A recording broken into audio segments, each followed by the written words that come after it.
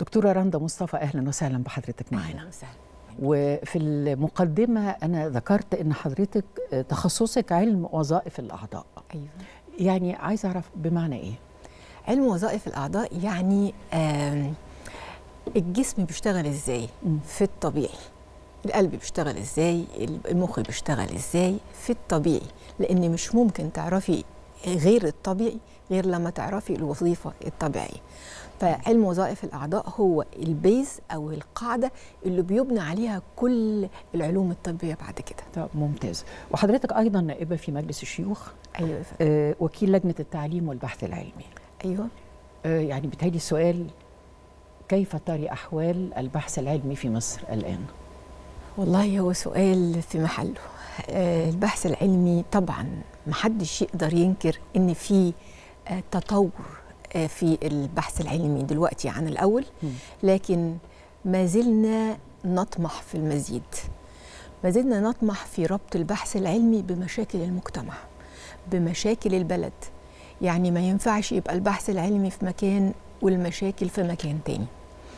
يعني مثلا إحنا عندنا مشاكل قومية كتير جدا عندنا مشاكل زراعية كتير جدا مم. في السلالات وفي البذور. لك أن تتصوري أن مصر لا تنتج البذور آه، بتاعت الزراعة. إحنا بنستورد 98% من البذور والتقاوي بتوع الزراعة. بتكلفة. 98% يس يعني تقريبا كل آه. احتياجنا يعني. تقريبا. بتكلفة ننتجها؟ 7 مليار دولار.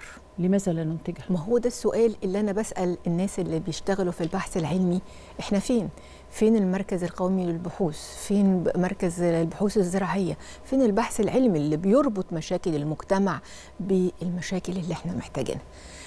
دي نقطة مهمة يعني جدا. اذا إذا امتنعنا عن الاستيراد معناها إن إحنا سنمتنع عن الزراعة. آه طبعا إحنا دلوقتي آه، روحنا في إيد البلاد اللي بنستورد منها البذور. فلو إحنا لو إحنا أنتجنا البذور بتاعتنا يعني أنتجنا ال- الأكل بتاعنا يعني أنتجنا الزراعة بتاعتنا يعني أيوة. لما نصدر نصدر وإحنا آه، يبقى ده ال- الدخل كله داخل لنا. مش رايح منه جزء كبير جدا في ال ال آه، ال- شراء البذور والتقاوي. دي ده الحقيقة معلومة صادمة بالنسبة لي. عايزة أقول لحضرتك إحنا عندنا أزمة في الدواجن عندنا أزمة في اللحوم آه ليه من ليه البحث العلمي ما يربطش تحسين السلالات ما يربطش الفراخ اللي بتتغذى على الأكل العادي بدل ما تتغذى على العلف. دي كلها أسئلة مهمة جدا لا يجيب عنها غير البحث العلمي. أنا الحقيقة شايفة إن في مشكلة في التواصل بين مشاكل المجتمع وبين البحث العلمي.